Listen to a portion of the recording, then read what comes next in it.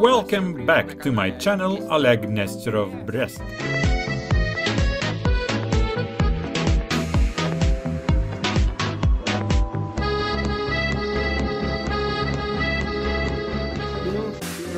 First off, disconnect the negative terminal, because today we are going to do some welding. We'll try to cure these hemorrhoids. We'll have to cut it out.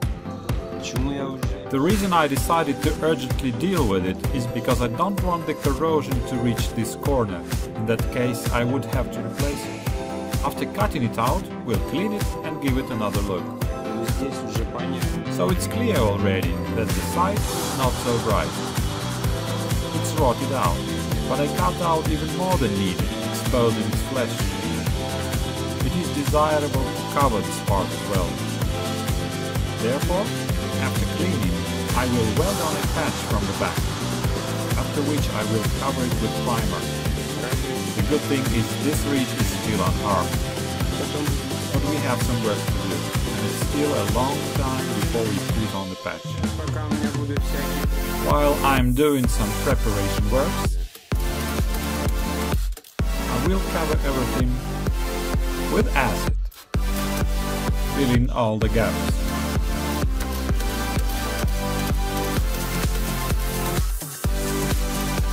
And from the back side as well. The outlook is not that cheerful, but actually Uncle Oleg expected something worse. We were lucky that we started the repair in time, and the car hasn't rotten completely to the corner. Had the rust gotten further, closer to the passenger compartment, it would have been much worse. As you can see, there is also one trick.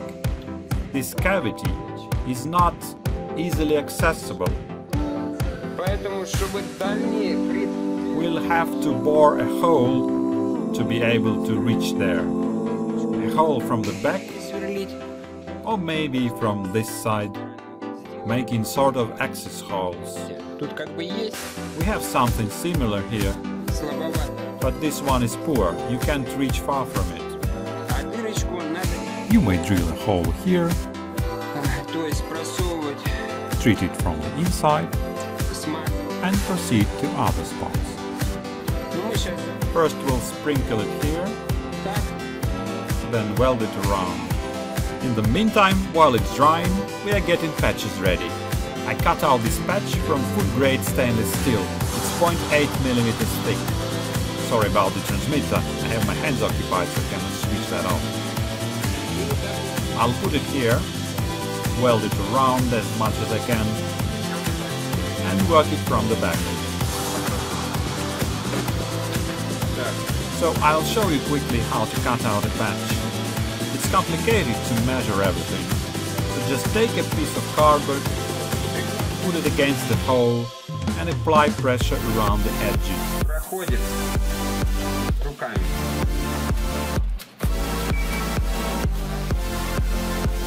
You get a printout. Just cut it out, but make it slightly bigger. Here's our slightly enlarged patch. And after cutting it out, we'll transfer it to metal and proceed to cut out the metal. Take some epoxy primer like this and apply it generously under the seams. This is already done on top of Zinccar, the rust solvent. I have here a small hole left, I will not bother with it, I will simply cover it from back with some sealant. I dried everything out properly, take this cavity wax,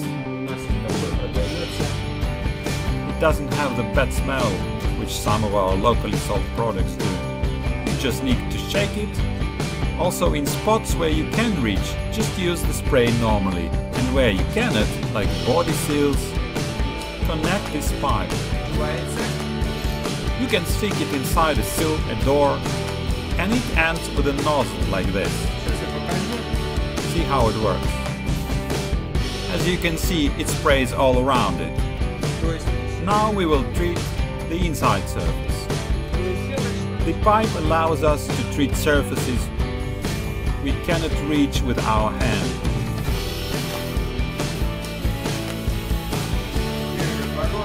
In the sills, above those, I apply it generously. I'm not afraid of flammability. The main thing, it can reach anywhere. Could potentially catch fire in the dome while welding, but we will not weld that hard. Cover all the seams. This hole, as I've told you, will not be welded. But we can also use it to apply cavity wax once again. After welding, because welding seams, the metal will get red hot and can cause bad things. So we will wax it from the back as well. It's a bit inconvenient to show you, but as you can see the patch is a little bigger in size. And we need to put it inside. Because Uncle Oleg does not butt weld.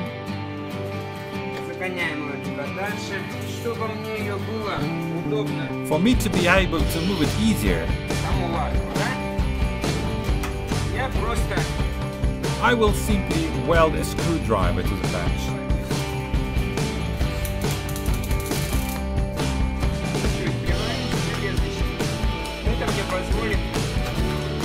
This system resembles working with a spotter. Welded it and pulled the metal, so that the metal had good contact and would weld properly.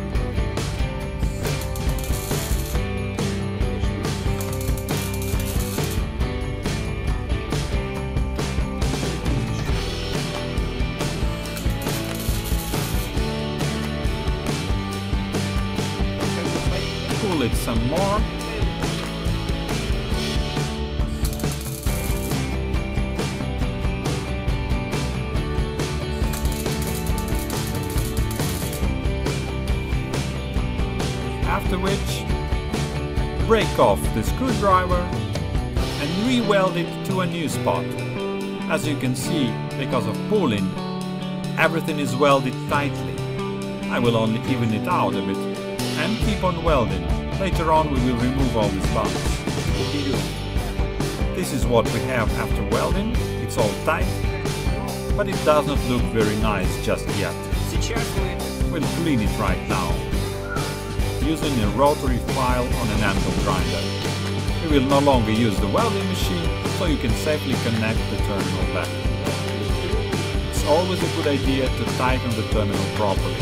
If you are afraid that in case of a short circuit you won't be able to take it off quickly, just install a switch. Because the contact on your terminal should always be firm. Otherwise the terminals will stick and oxidize. Make sure that after cleaning everything, you use this brush to clean inside the seams, so that there is no scale.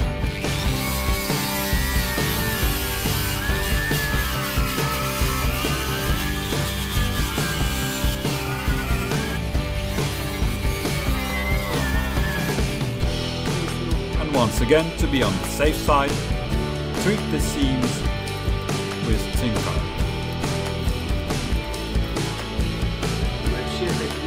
In fact, it would be better to team seams like that.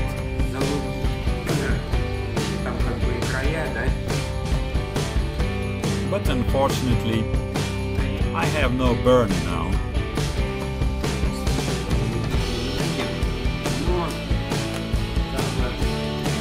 Hopefully, when I'm doing the second dome, I will buy the burn and I will show you how to tin. It's done with an ordinary solder in a very simple way and fast, unlike working with a soldering iron. I will show it to you sometime. When Uncle Oleg makes up his mind to fix the second dome, the only drawback here is that using Zinccar you have to spend a lot of time waiting before it dries out. Saw me working with a hairy metal brush. Well, that's what I call it. Uh, and the surface is polished now. In order to make it stick, we will sand it with a 120 grit sandpaper. It's raining a bit outside. Here I have a 120 grit sandpaper and start leaving scratch marks, working manually.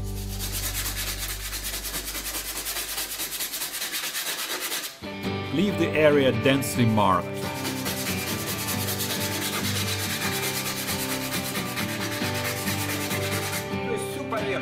Sand the whole area. And after you've made the scratch marks, degrease everything properly once again.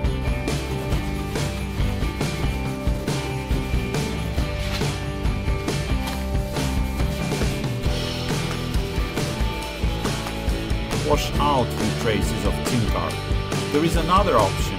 If you are afraid that Zinccar would make the paint peel off, you can remove Zinccar with baking soda. The soda will stop the reaction.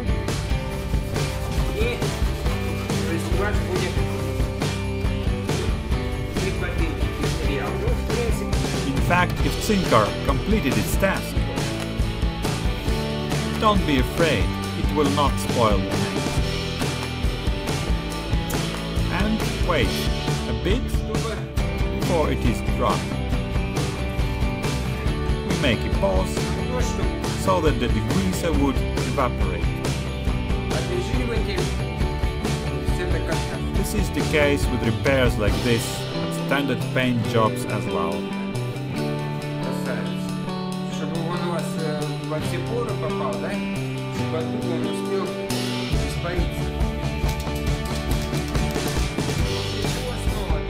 Now take the epoxy primer once again and cover everything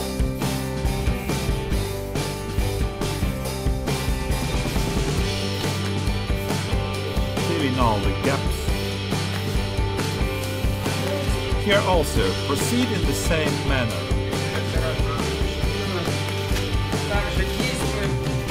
After the epoxy primer dries out, make sure you let it dry properly, so that the bottom layer also dries out. And dry sand with a 120 grit sandpaper. Make a dense pattern of scratch marks as before.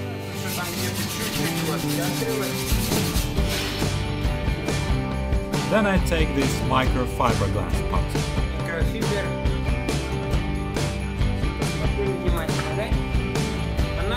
This putty has fiberglass structure.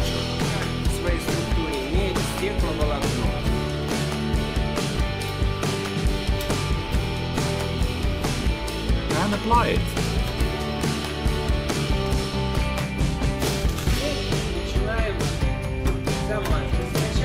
First I try to stick it inside the gaps using these motions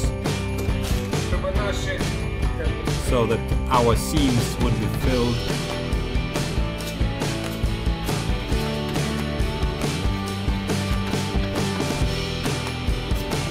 Bear in mind, I do not level it right away, but first I fill in the seams.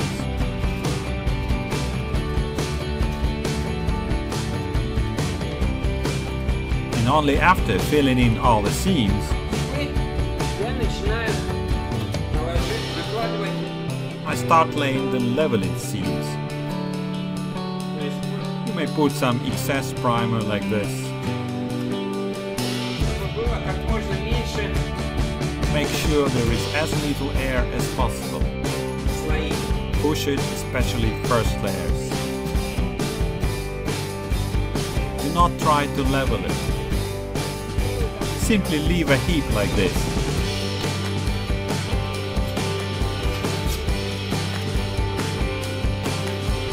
and dried across.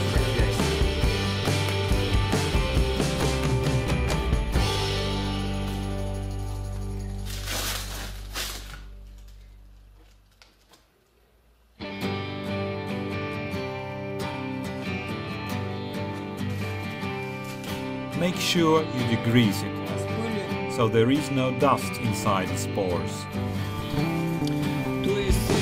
See, we have here the grounds, and inside here there is a groove, which means we simply need to add more primer. I will apply some universal putty in this case, which will simply level it out. Here's my universal putty out of Novol line. There are tons of ways to apply it. Choose whichever is more convenient for you. First I will cover these noticeable scratch marks.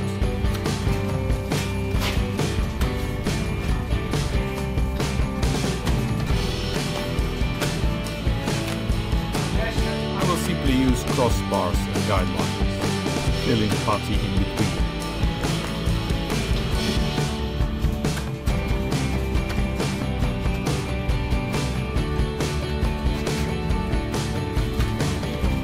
I apply it liberally so that when I remove the excess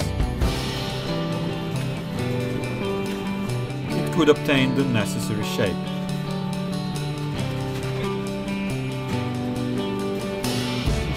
And now I will draw it across like that.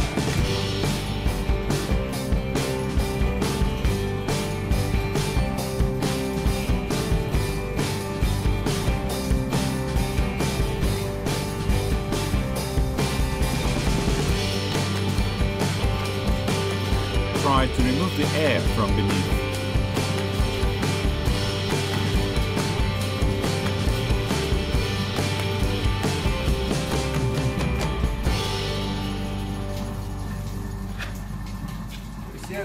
I laid a liberal amount to level out the plane.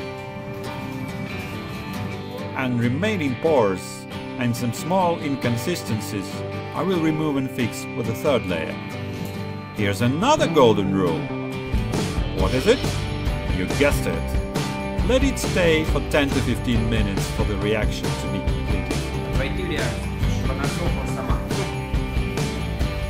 We have a flat surface here, but there are some small pores. We will fill in these pores with the last layer, remove the scratches, and then put some more. Here's the last layer, and we will sand it with a 240 grit sandpaper. But the goal of today's repair is not the total repair of the car and painting it. My goal for today is to get rid of rust. I have prepared everything and I will apply some epoxy primer now.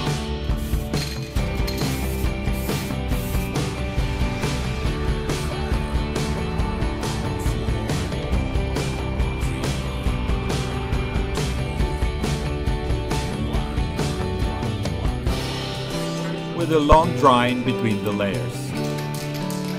I will not paint it, I've just primed it. And will paint it just a tad wet on wet, so that it doesn't look utterly terrible. This will give me some more time to drive this car.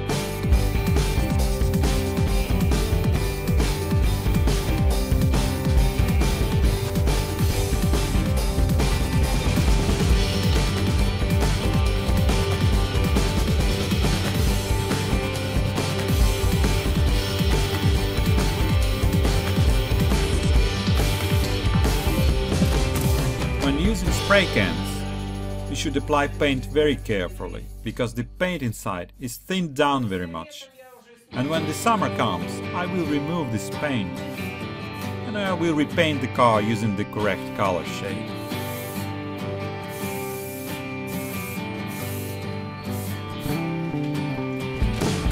It's done. The dome is ready Now it will not trust any longer. The last stage is over. We covered it with cavity wax. Here's how it all looks like. Here's what it looks like from the inside.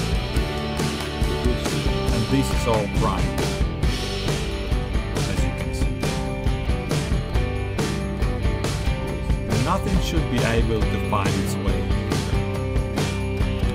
Once again, stay healthy everyone. I wish you all the best and lots of dough rate.